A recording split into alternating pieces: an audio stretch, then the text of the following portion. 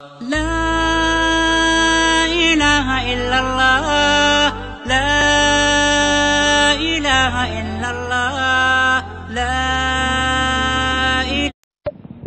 আলাইকুম রহমতুল্লাহ বরকাত এক ভাই প্রশ্ন করেছেন, যার মোবাইল নাম্বার শেষে লেখা আছে ছত্রিশ বাইশ। ইনি শরিয়াত, তরিকাত, হাকিকাত, মারেফাত সম্পর্কে প্রশ্ন করেছেন।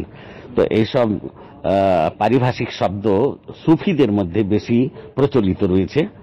কিন্তু আমাদের প্রকৃত ইসলামের শিক্ষা অনুযায়ী শরিয়ত হচ্ছে জীবন পরিচালিত করার বিধিবিধান, আর মারেফাত বলতে আল্লাহ তবারক ওয়া তাআলার পরিচয় পরিচয় লাভ করা, আল্লাহ তবারক ওয়া তাআলার পরিচয় লাভ করা, আর সঠিক আকিদা, অন্তরে স্থাপন করা। তাহলে পবিত্র কোরআন এবং নির্ভরযোগ্য হাদিসের আলোকে আমরা যদি জীবন যাপন করি, এটাই যথেষ্ট। কেন? যে আল্লাহ ওয়া তাআলা আল আরাফের তিন নম্বর আয়াতে বলেছেন, ইত্তাবিউ মা উনজিলা ইলাইকুম মির রাব্বিকুম ওয়া লা তাত্তাবিউ মিন দুনিহি আউলিয়া। তোমাদের প্রভুর পক্ষ থেকে তোমাদের প্রতি যা কিছু অবতীর্ণ করা হয়েছে, সেটা তোমরা মেনে চলো। সেটাকে বাদ দিয়ে তোমরা তোমাদের অলি আউলিয়ার পেছনে পড়িও না। তাহলে আমরা যে বিধিবিধানটি পবিত্র কোরআন এবং নির্ভরযোগ্য হাদিসের মধ্যে পাচ্ছি, এটাই যথেষ্ট।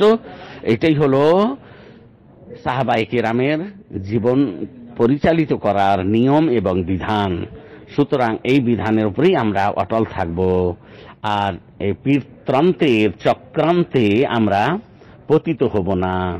পীর ধরা কোনো জরুরি নয়, তবে হ্যাঁ যে কোনো মুসলিম ব্যক্তি শরীয়তের ব্যাপ- ব্যাপারে বা ইসলাম ধর্মের ব্যাপারে যখন কোনো বিষয় জানার ইচ্ছা করবে, তো নির্ভরযোগ্য আলেমের মাধ্যমে জেনে নেবে। এটাই হচ্ছে তার কর্তব্য। আর পীরের কাছে যাওয়ার কোনো প্রশ্নই আসে না। আসসালামু আলাইকুম রহমতুল্লাহি